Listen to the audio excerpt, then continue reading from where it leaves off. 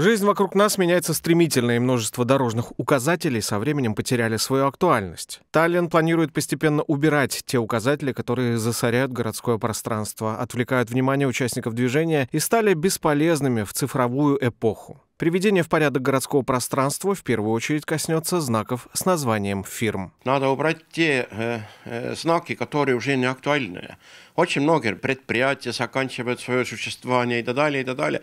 И я думаю, что за определенное время очень целесообразно рассматривать, что у нас в городском пространстве существует, потому что едешь, гуляешь, голова гружится, слишком много уже всего стало. Таллин более не планирует установку указателей фирм, а ликвидация старых будет проходить постепенно, в том числе и в ходе ремонта дорог. На сегодняшний день уже убраны старые указатели местоположения фирм Скада КТ. В некоторых других местах города указатели по-прежнему развешаны рядом в избыточном количестве, что нарушает визуальный облик улиц, поэтому требуется системный подход.